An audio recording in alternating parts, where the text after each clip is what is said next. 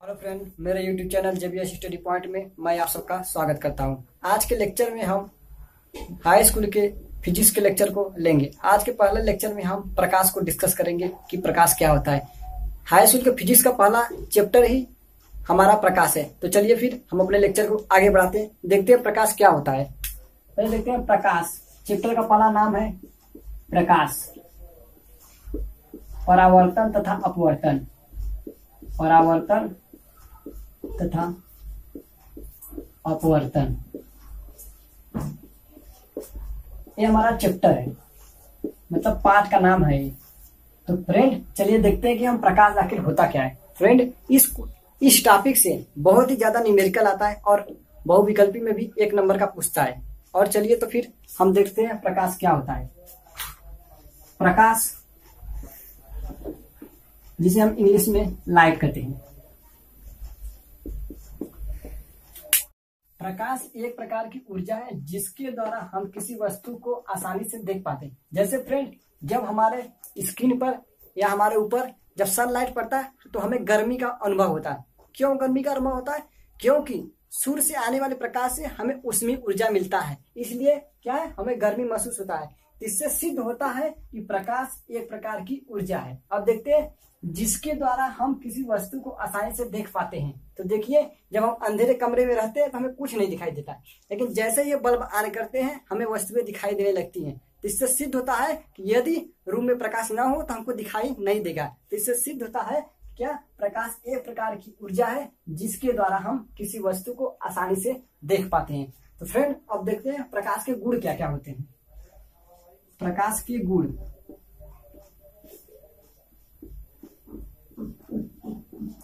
Property of light तुम्हारा पहला point है.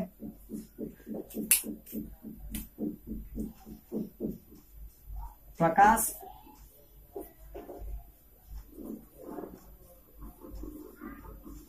सीधी रेखा में गमन करती है।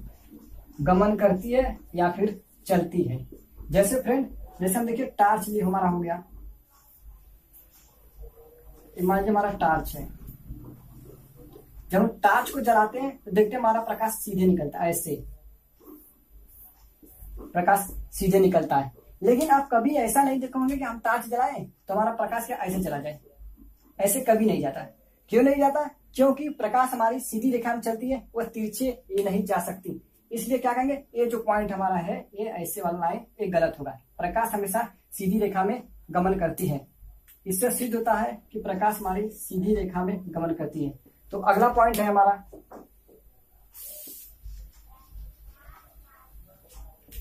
निर्वात में प्रकाश की चाल।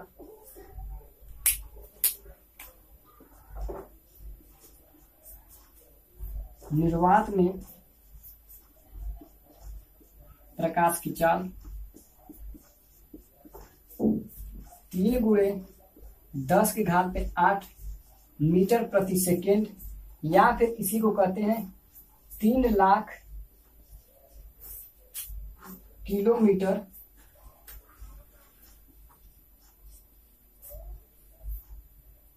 प्रति सेकेंड। होता है तो फ्रेंड यह कंपटीशन में पूछ सकता है कि निर्वात में प्रकाश की चाल कितना होती है? तो फ्रेंड आप याद कर ले, निर्वात में प्रकाश की चाल तीन गुणे दस के घाते आठ मीटर प्रति सेकेंड या तीन लाख किलोमीटर प्रति सेकेंड होता है। तो नेक्स्ट पॉइंट है हमारा।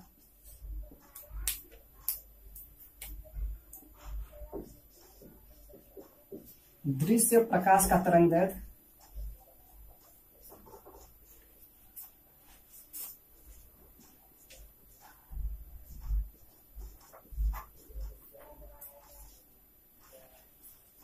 उनतालीस एंगस्ट्राम से लेकर से अठहत्तर सौ एंगस्ट्राम होता है। यह सब हम आगे के कक्षा में पढ़ेंगे। तो आपको सबको समझ में आ गया होगा प्रकाश क्या होता है और प्रकाश की गुण क्या होते हैं। तो फ्रेंड आप चाहे तो इसे स्क्रीन शॉट लेकर अपने नोट्स में लिख सकते हैं। तो फ्रेंड फिर हम अपने लेक्चर को आगे बढ़ाते हैं।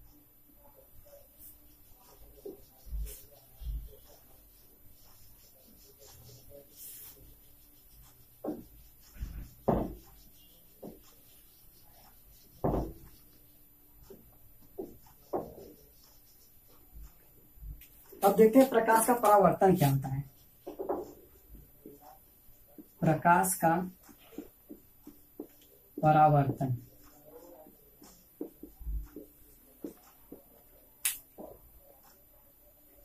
परावर्तन का अर्थ होता है परावर्तित होना।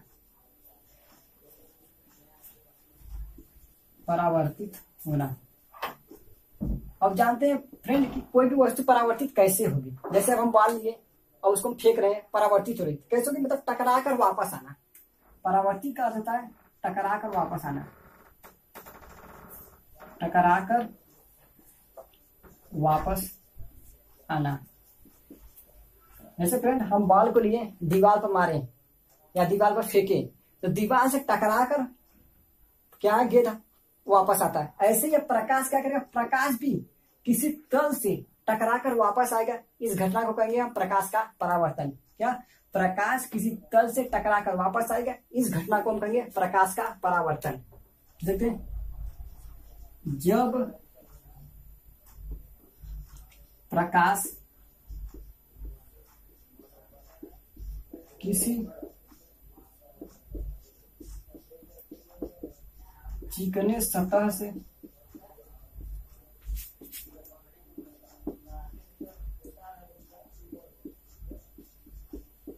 टकराकर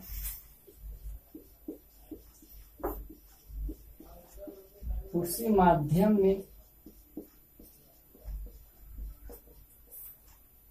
वापस लौट जाता है।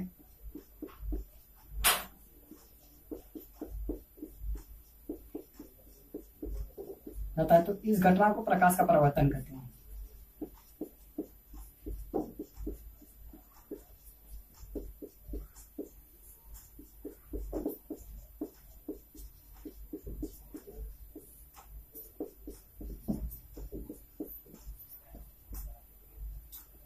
आप देख सकते हैं फ्रेंड प्रकाश टकराया किसी किसी चिकनी सतह से। जैसे हमारा बॉल दीवार से टकराया था, उसी प्रकार प्रकाश हमारा चिकनी सतह से टकरा कर वापस आएगा। तो इस घटना को हम कहेंगे प्रकाश का परावर्तन। अब देखते हैं। प्रकाश जिस सतह से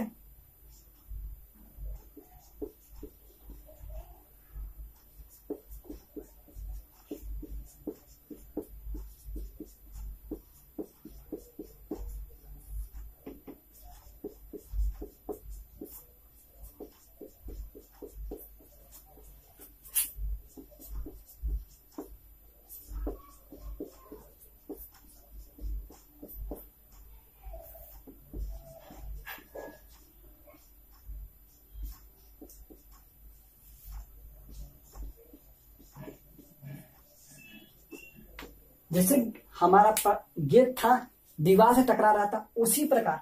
प्रकाश जिस सतह से टकराएगा, उसे हम कहेंगे परावर्तक। प्रकाश जिस सतह से टकराएगा, उसे हम कहेंगे परावर्तक। तो फ्रेंड आई होप मुझे आशा है कि आप सबको प्रकाश का परावर्तन समझ में आ गया है। तो आप इसे स्क्रीन साथ लेकर अपने नोट्स में लिख सकते हैं। अब फ्रेंड हम फिगर के माध्यम से समझते हैं कि प्रकाश क्या होता है।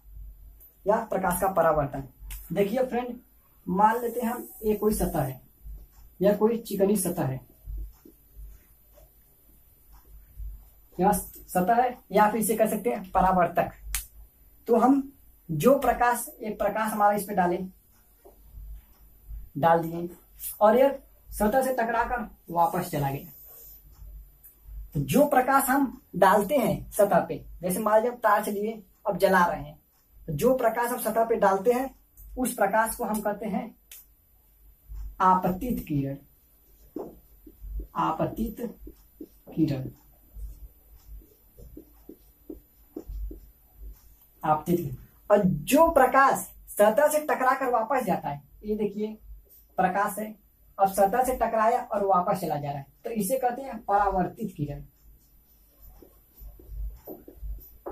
परावर्तित किरण फ्रेंड, आप सबको समझ में आ गया होगा कि परावर्तित किरण क्या होता है और अपवर्तित किरण क्या होता है। तो फ्रेंड, अब हम यहाँ से, अब जहाँ से प्रकाश रिफ्लेक्ट हुआ है मतलब तो परावर्तित हुआ, वहाँ से एक लाइन खींच लेते हैं।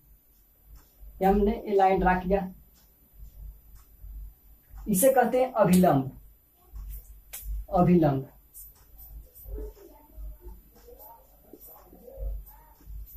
अभिलंब।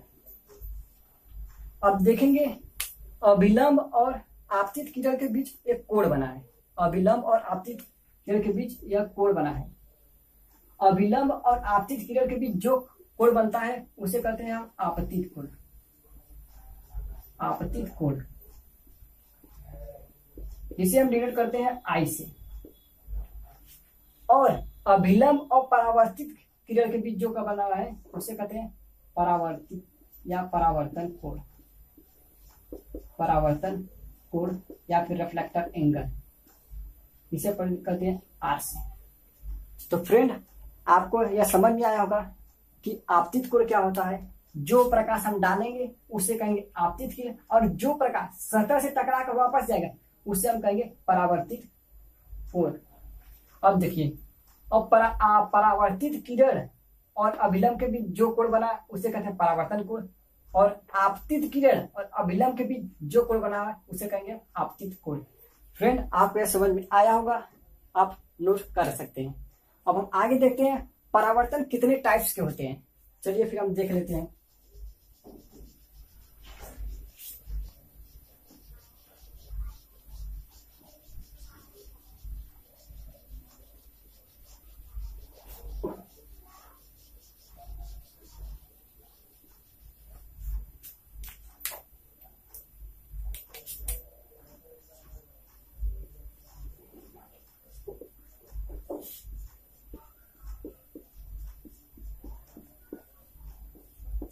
परावर्तन के प्रकार। हमारा परावर्तन होता है? दो तरह का। दो तरह का। एक होता है खुरदरी परावर्तन। और दूसरा हमारा होता है चिकनी परावर्तन।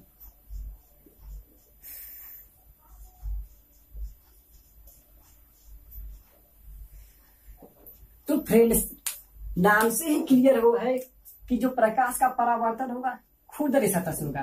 तो क्या? प्रकाश का परावर्तन।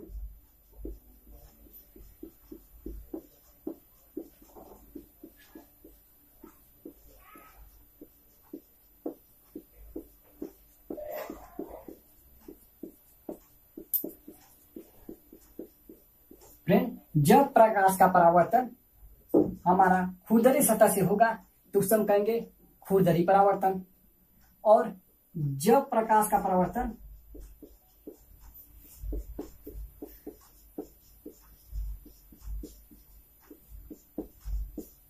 चिकने सतह से होगा,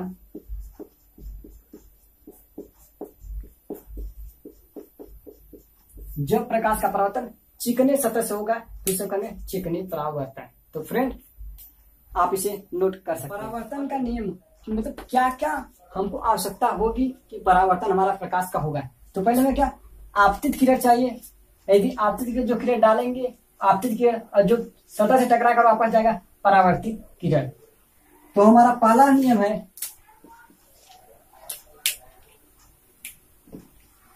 आपतित किरण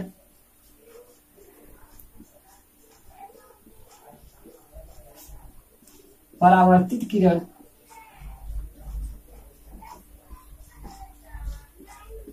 परावर्तित किरण तथा अभिलंब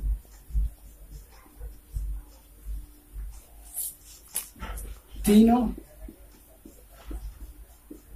एक ही सतह पर होने चाहिए। देखिए फ्रेंड फिगर से हमारा। क्लियर है कि आपतित किरण और परावर्तित किरण तथा अभिलंब तीनों के तीनों एक ही सतह पर हैं। तो हमारा नियम यह पहला कि आपतित किरण, परावर्तित किरण तथा अभिलंब तीनों एक ही सतह पर होने चाहिए। और दूसरा हमारा है आपतर कोण कोण, सदैव परावर्तन कोण के बराबर होना चाहिए।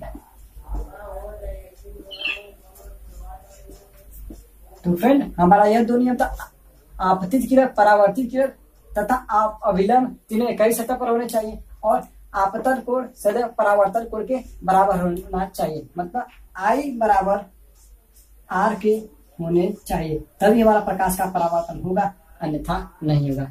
फ्रेंड ये हमारा जो सतह लिए या समतल सतह भी हो सकता है, गोली सतह भी हो सकता है। तो फ्रेंड आई होप कि आप सबको प्रकाश क्या होता है, प्रकाश के नियम क्या है, सब आपको समझ में आया होगा, परावर्तन भी समझ में आएगा। तो फ्रेंड यदि यह वीडियो आपको अच्छा लगा हो तो अपने ग्रुप में शेयर कीजिए और फ्रेंडों का मदद कीजिए और मेरे चैनल को सब्सक्राइब कीजिए, जिससे आपको आने वाले वीडियो का नोटिफिकेशन आपको मिलता रहे। अगले वीडियो में हम देखेंगे दर्पण क्या होता है। आपको हम ऐसे समझेंगे कि आप कभी भूलेंगे नहीं। धन्यवाद फ्रेंड आज के वीडियो में।